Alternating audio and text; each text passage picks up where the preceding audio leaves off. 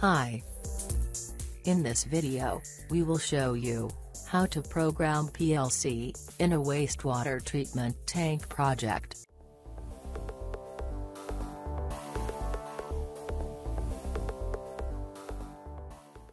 So we start with create a new project in TIA Portal software. You add the project name and the file emplacement.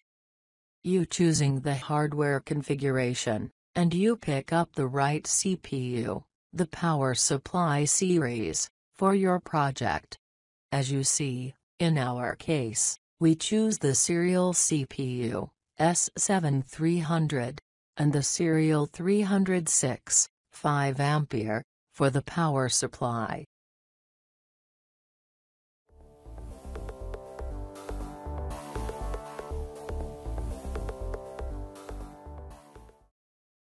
In this part, we will explaining how to start the system with the real button and through the human machine interface too. As you see here, we have two buttons. The green one is for the manual starting. The PLC tag of this one is SDB and the second red one is for the manual stop. The PLC tag of the stop button is TSB and the same thing, for the HMI interface, the red one, is for stopping the system, the PLC tag for this one is, SP Virtual, and the second tag is, ST Virtual, is for the green button, in the HMI screen. As you see, when we push, the manual start button, the MMS tag, gets energized, and that, means, keeping the system running up. And, when we push the manually stop button, the MMS tag, get down, that means stop running the system. The same thing, for the HMI buttons. The only difference, is, that the first buttons, are physical, we can touch them, and the other virtual ones, cannot be touched, but they do, the same task. Now, we jump to show you how it looks in TIA Portal software. Before starting your programming, it's better to add, firstly, the inputs and the output tags and, if you need to add more tags, you can do it after.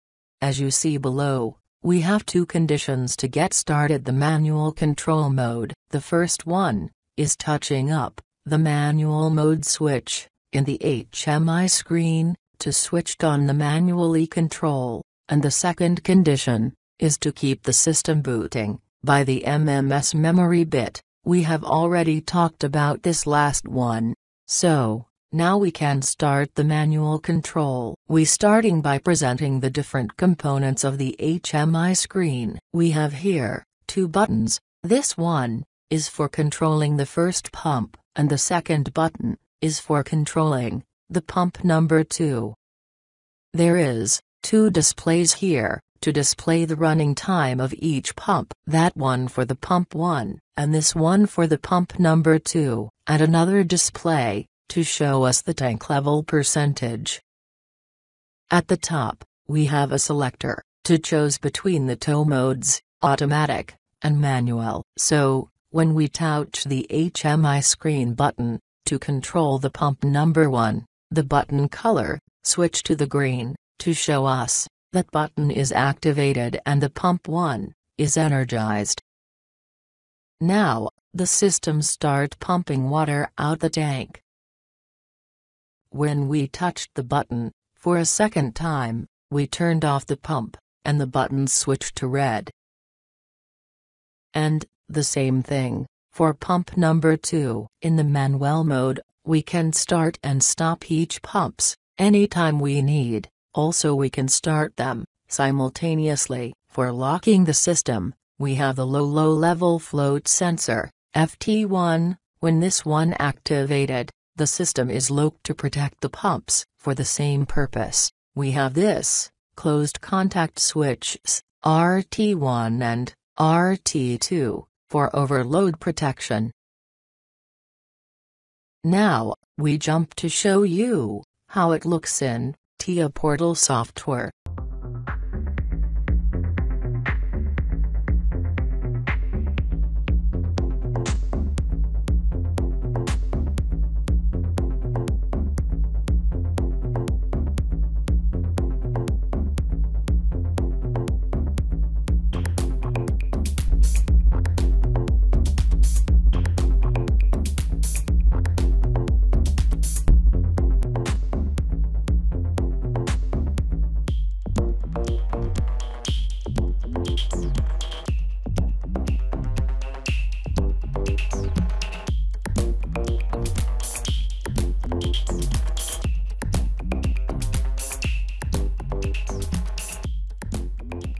As you see here, we have a counter that triggers by a falling front of the pump 1 signal and it goes to 0, reset, by a falling front of the pump 2 signal. In the initial state, the value of the counter, equal to 0, so, the contactor comparator is triggered. We push the button, to start, and we select the automatic mod. When water reach the high level, the pump 1 start pumping water, and the pump signal switched from 0 to 1.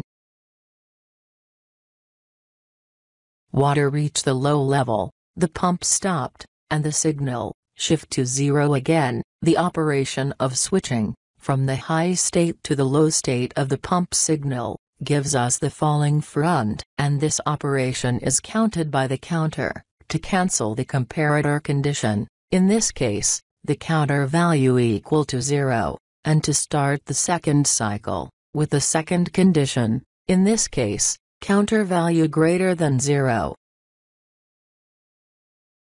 The same process is repeated, for the pump number 2.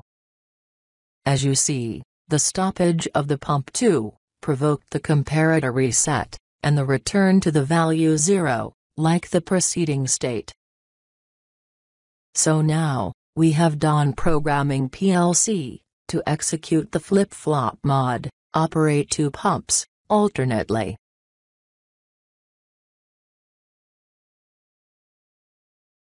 As you see here, we have all the sensors are not activated, that because, the tank is in the low low level.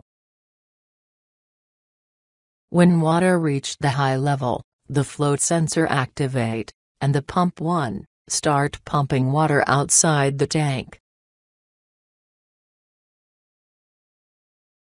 Now, water reached the low level, the pump 1 stopped pumping out water, and the counter value changed, it means the first condition is changed too. And the second cycle turn on, when the pump number 2 start, as you see here, the counter value is changed, it means the first condition is cancelled, and the second condition is started. Now the counter value, back to zero, that means in the next cycle, the pump number 1, will work again. You had noticed, that the sensor, FT3, did not work, but despite this, the process has continued its function. This is what we gonna explain in the next part, but before doing that, take a look on the TIA portal programming.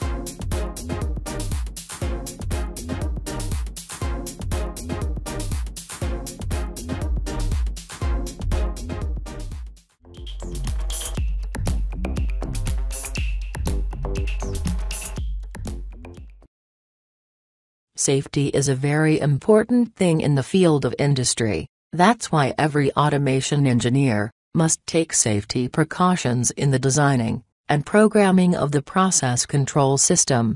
For more security, we have add this emergency program to make sure the work is done, even if one pump breaks down, the other one go back to work. The programming of this action is very simple. The principle is, if the pump stops and the water level does not reach the low level, then the waiting pump resumes work.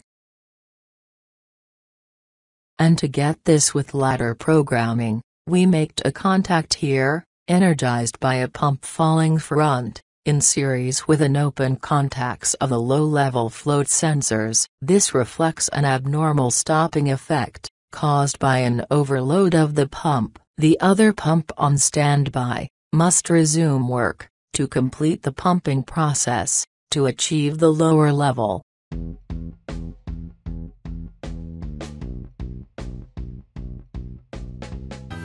We trying to give you some programming tips, to help you in your own PLC programming. I hope that was helpful for you. And don't forget to subscribe in the channel, and leave your question in the comments.